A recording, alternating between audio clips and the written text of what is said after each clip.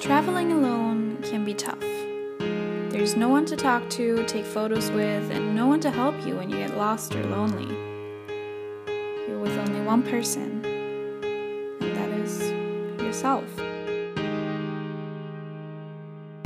Hallo meine Lieben, ich habe gerade wieder einen Flug hinter mir, aber wie ihr sehen könnt, befinde ich mich gerade in San Francisco. Für diejenigen, die mein Seattle-Video gesehen haben, die wissen, dass ich Spring Break Woche frei habe und ich war jetzt fünf Tage in Seattle bei meinen Freunden. Wenn ihr das Video nicht geguckt habt, guckt es euch an, weil meine Crew, die sind einfach die besten. Jetzt bin ich noch zweieinhalb Tage hier in San Francisco.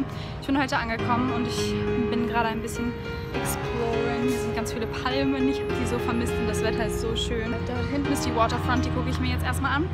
Und morgen und übermorgen habe ich dann den gesamten Tag, um San Francisco zu erkunden. Traveling alone is an experience that is worth it though. You're figuring life out on your own. You have to be independent, and you're basically forced to rely on your own abilities.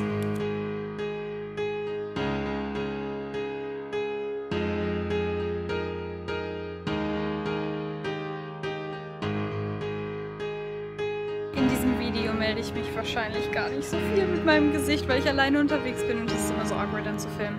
Ich bin immer noch unterwegs. Ich habe mir gerade den Fisherman's Wharf, nee gar nicht, den Pier 39 angeguckt. Bisher ist San Francisco echt wunder wunderschön, vor allem das Wetter. Ähm, da kriege ich richtig Lust auf Sommer und ich bin hier gerade, wie man sieht, am Hafen.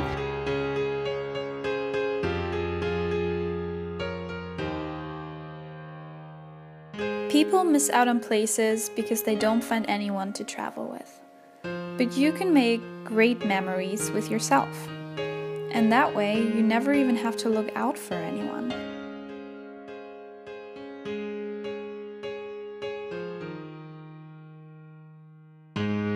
You're completely free in planning your day, and even though you're in a city you've never been before, surrounded by strangers, there is no way you'll be fully alone.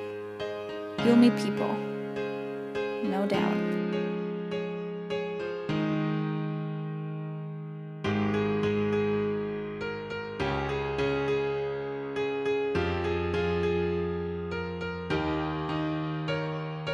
Alright, also wie man sieht, sind meine Haare extremst verknotet, weil ich habe mir gedacht, dadurch, dass ich alleine in San Francisco unterwegs bin, habe ich mir Tickets für so eine Hop-on, Hop-off-Bus-Tour geholt, was super gut ist, weil ich dadurch ähm, dann in Anführungsstrichen günstig von A nach B komme. Und ich bin hier jetzt gerade bei einem Stop und wir sind gerade über die Golden Gate Bridge gefahren und oh mein Gott, der Wind hat meine Haare so kaputt gemacht jetzt, die sind so zerzaust. Und jetzt muss ich gucken, dass ich irgendwie schöne Bilder hinkriege, was nicht so easy ist, wenn ich keine Freunde habe.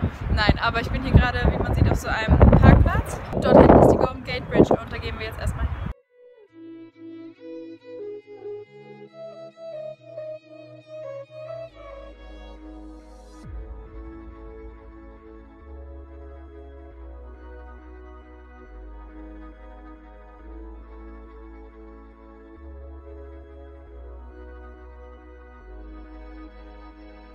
Traveling alone can be lonely from time to time.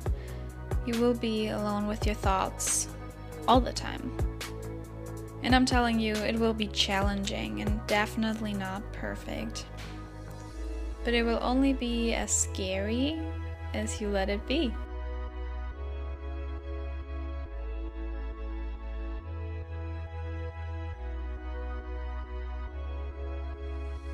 You will learn a lot about yourself and about your strengths and about what you're capable of. And you're allowed to be proud of yourself because it means you're very brave. Ich war gerade bei der Lombard Street, also diese Straße, die so richtig steil und zickzack da runter geht.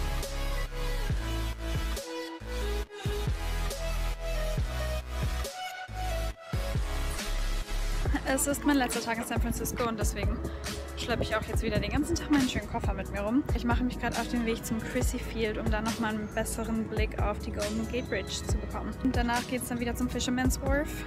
Pier 39, meine Favorite Areas, wo ich dann nochmal mir die Seelöwen angucke und ein Outdoor-Movie mir ansehe, was ich ganz cool finde. Und danach geht es dann zum Flughafen.